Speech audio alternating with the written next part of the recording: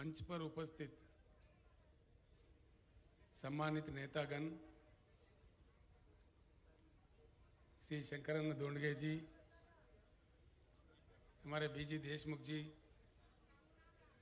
श्री भगीरथ बालके जी,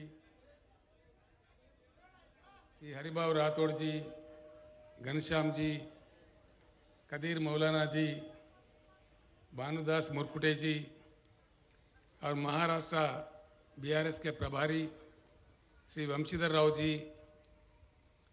मेरे मित्र और महान व्यक्ति अन्नाभाव साठे के पोता, श्री सचिन साठे जी।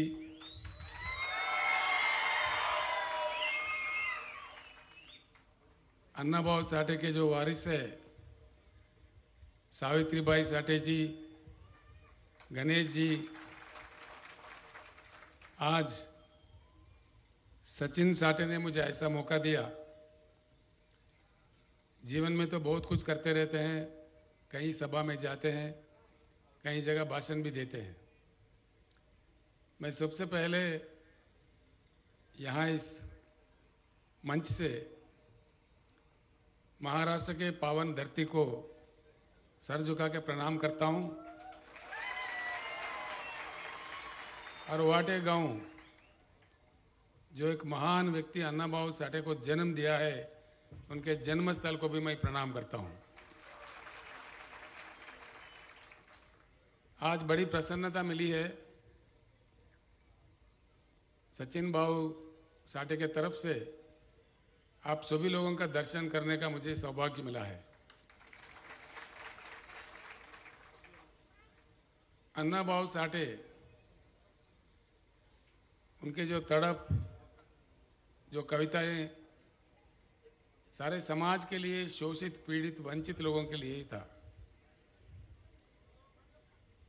सोशलिज्म के तरफ़ भी उनका रुझान था। संयुक्त महाराष्ट्र के मोर्चा के आगे भी वो चले। बहुत बड़ा सम्मानित कवि भी थे। इसलिए उनको टाइटल दिया गया लोक शायर। ये बहुत कम लोगों को मिलता है। शायर तो कई होते हैं, लेकिन लोक शायर जो लोगों के लिए, खास तौर पर जो वंचित है, पीड़ित है, शोषित है बॉटम लाइन में है उनके लिए लिखने वाले, गाने वाले कम होते हैं। लेकिन अन्नाभाव साठे ने कभी पीछे नहीं हटा। इसीलिए बड़ी खुशी की बात है, सारे भारत को गर्व की बात है। रशिया जैसा एक महान देश अन्ना भाऊ साठे को पहचाना, लेकिन हिंदुस्तान ने नहीं पहचाना। उन्होंने पहचाना और खास यहाँ के प्रधानमंत्री को इतला करके उनको रशिया भी बुला लिया, सम्मानित किया। और ऑल रशिया लाइब्रेरी में आज अन्ना भाऊ साठे का मूर्ति को भी प्रतिष्ठापन किया। रशिया कम्युनिस्ट पार्टी के मेंबर जो मैक्सिम गोरकी थे उनका विशेष नावल है माँ। हम तेलुगु में कहते हैं अम्मा। उस माँ के नाम का जो नावल है, मैक्सिम गोरकी का, वो पूरी दुनिया में मशहूर है। कई भाषाओं में उसका ट्रांसलेशन भी हुआ है। हर देश में उसका उपलब्धि है।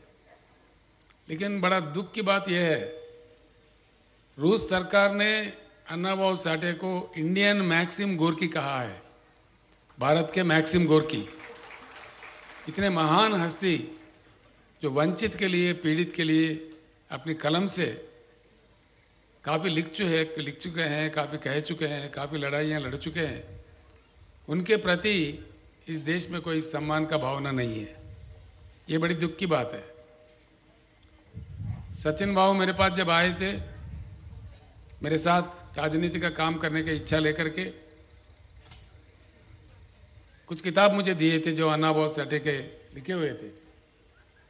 मैंने पूछा तो मराठी में भाई, भाई मैं मराठी नहीं समझ सकता। कुछ अन्य भाषा में इसका ट्रांसलेशन आएगा कहीं नहीं मिला। मैं अनुरोध करता हूँ महाराष्ट्र सरकार से कम से कम अब तो जागे।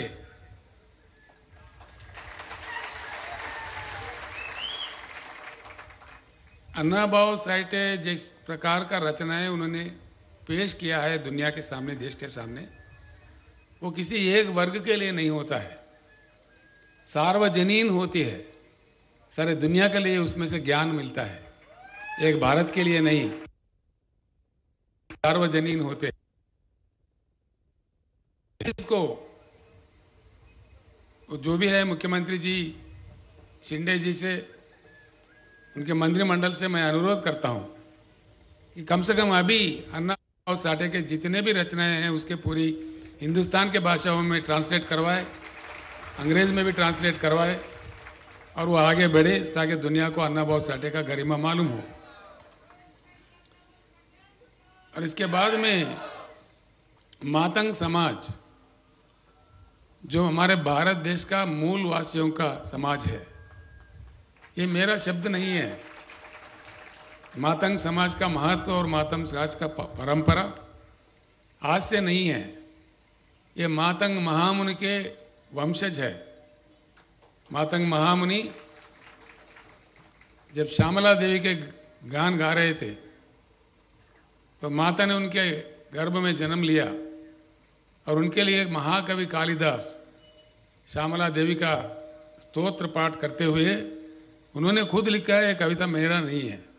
महाकवि कालिदास कवि का कहा है कि, माणिक्य वीणा मुपलालयंतीम मदालसाम, मंजुल वाग्विलासाम, महेंद्र नीलज्योति कोमलांगीम, मातंग कन्याम मनसा स्मरण ये कालिदास जी का कहना है। यानी कि मातंग समाज का जो प्रतिष्ठा, जो गरिमा, उनके प्रति गौरव, ये भारत का पुराण और इतिहास का ये परंपरा में भी शरीक है। सचिन बाबू साठे जिस प्रकार का मुझे वहाँ हैदराबाद में भी बताया अभी मंच पर भी बता रहे थे कि इनका आदर नहीं होता है। अब अन्ना बाबू साठे जैसा महान पुरुष, महान व्यक्तित्व का आदर नहीं होता है तो आपका क्या आदर होगा? होगा ही नहीं, देश ऐसा है हमारा। जब तक हम आवाज़ उठा के ज़ोर से चिल्लाते नहीं, तब कोई सुनने वाला नहीं। इस देश में देश का आदत ऐसा पड़ गया है। मैं एक बात का एक प्रस्ताव लाना चाहता हूँ आप सभा के सामने।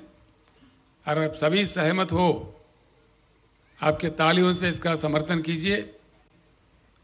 मैं प्रधानमंत्री नरेंद्र मोदी जी से और महाराष्ट्र सरकार से अनुरोध करता हूँ अन्ना भाऊ साठे का रचनाओं का उनका व्यक्तित्व का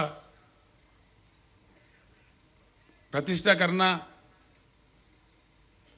पूरे देश में जागरूक, दुनिया में जागरूक करने का प्रयास करना ये हमारा देश का गर्व होता है। अन्ना बाबू साठे इस भारत का एक महान पुत्र है। उनको रेस्पेक्ट देना, हमारा रेस्पेक्ट बढ़ता है। इसीलिए महाराष्ट्र सरकार भी काम करे और अन्ना बाबू साठे का नाम का भारत रत्न टाइटल देने के लिए महाराष्ट्र सरकार नॉमिनेट करके भेजे।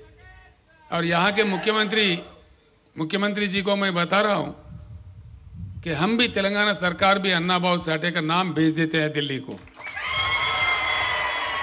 मैं खुद भी खुद भी प्रधानमंत्री को मैं चिट्ठी लिखूँगा, क्योंकि मैं खुद यहाँ आया हूँ आटे गाँव में देख चुका हूँ, आपका जोश भी देख रहा हूँ। इसलिए आपसे प्रार्थना है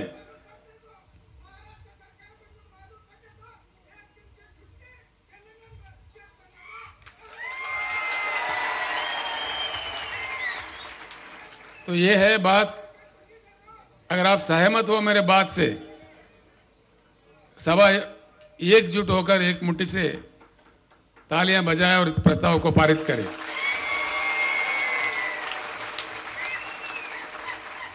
आप लोगों का धन्यवाद। और ये प्रस्ताव बना के मैं माननीय देशमुख जी को शंकरन्ना धोणगे जी को प्रार्थना करूँगा। इस प्रस्ताव को ज़रूर बना के लाए।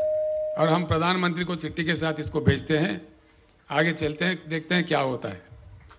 प्रधानमंत्री मोदी जी से भी मैं अनुरोध करता हूँ, अन्ना बाबू साठे को आइडेंटिफाई करना, उनका सम्मान करना, उनको सम्मानित करना।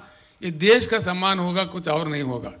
तो इसीलिए प्रधानमंत्री जी से भी मैं अपील करता हूँ कि अन्ना बाबू साठे को भारत रत्न टाइटल देना चाहिए।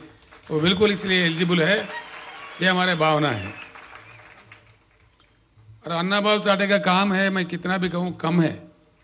कल ये टाइम तक भी कह सकते हैं उनकी सम्मान में।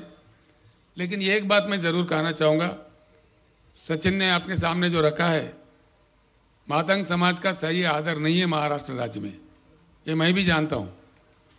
एमएलएस में एमपीस में, यानी कि आमदार, खासदार में, कुछ अन्य चीज़ों में जो पोजीशन मिलना चाहिए, जो दर्जा मिलना चाहिए, नहीं मिल पा रहा है, सही नहीं मिल पा रहा है। ये आप लोगों का तड़प है, मैं समझ गया हूँ। मैं आपको आश्वासन देता हूँ, जब कभी ऐसी वक्त आता है, मातंग समाज को नजरअंदाज नहीं करेगा बीआरएस पार्टी और मातंग समाज को साथ लिए चलने का पूरा पूरा प्रयास करेगा।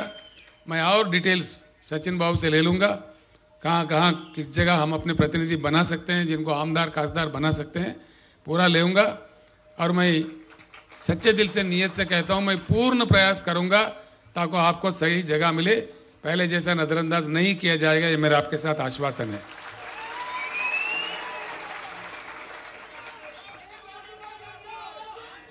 आज इस सभा में आकर आज सभी से मिलने का, आपसे दर्शन करने का मुझे सौभाग्य मिला है। इसके लिए मैं आभारी हूँ सचिन साठे का, जिन्होंने मुझे आमंत्रण दिया है यहाँ आने का। फिर एक बार आप तमाम भाइयों को, बहनों को प्रणाम करते हुए मैं सचिन बाबू साठे को धन्यवाद देते हुए अपने शब्द को समाप्त करता हूँ। जय भीम। जय अन्ना बाबू साठे। जय महाराष्ट्र। जय भारत। धन्यवाद।